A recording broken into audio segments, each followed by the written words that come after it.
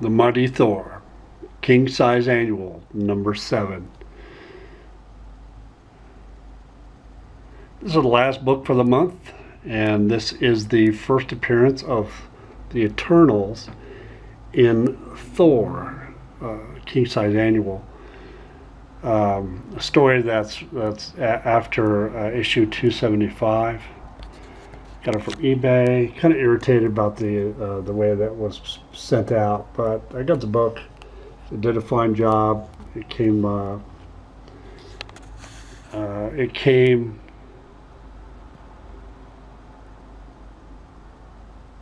It came. Uh, can't get the words out. It came uh, pretty quickly, first class. And the person who sent it uh, kind of like apologized for the slowness of getting it out because it didn't take go out till like Tuesday or Tuesday Wednesday evening. So I was kind of upset.